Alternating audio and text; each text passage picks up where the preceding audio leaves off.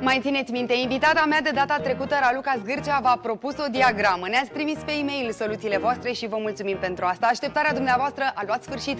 Haideți să vedem rezolvarea. Delia Duca ne explică. Delia, înainte să ne arăți rezolvarea, cum a fost la campionatele din weekend? Bine v-am găsit! Mulțumesc, Carina, pentru întrebare. A fost foarte frumos. Ne-am bucurat că am putut să participăm la acest campionat chiar și în aceste condiții. Și uh, campionii, după cum ai spus și tu, au fost uh, Ștefan Mihai și uh, Irina Marin. Uh, Diagrama pe care o avem aici este provenită dintr-o partidă, uh, diagrama pe care ne-a propus-o Raluca Zgârcea în ediția trecută. Aici era mutarea 18, în anul 1907 s-a jucat, între uh, Rubinstein cu piesele negru și uh, uh, un uh, alt maestru polonez cu piesele albe. Uh, Rubinstein a fost considerat unul dintre cei mai puternici jucători care totuși nu au ajuns să fie campioni mondiali. Era programat un meci uh, pentru titlul de campion mondial în anul 1914, deci la șapte ani după ce s-a jucat această partidă, dar nu a mai avut loc din pricina izbucnirii primului război mondial.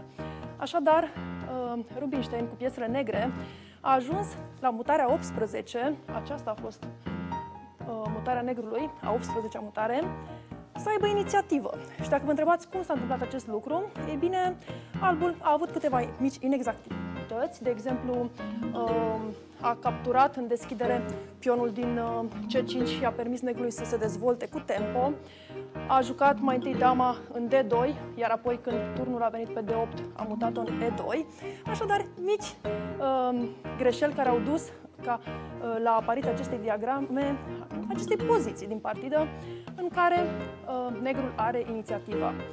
Albul a încercat la mutarea 19 să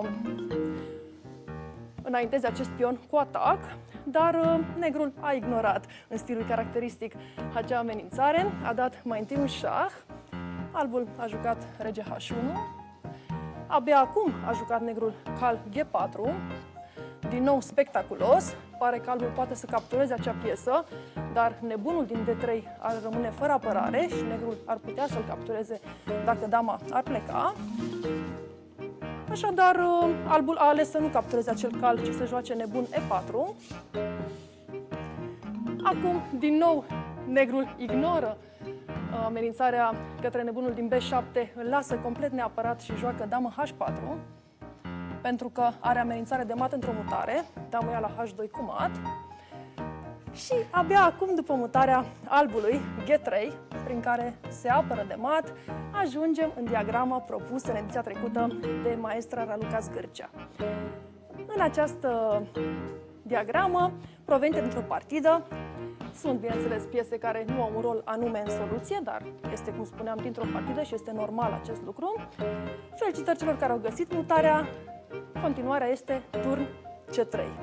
Așadar, un alt sacrificiu spectaculos din partea negrului, își lasă dama complet fără apărare. Albul nu are ce să mai facă, tot cea mai bună mutare ar fi să captureze acea damă. Și acum o mutare la fel de frumoasă, turn de 2.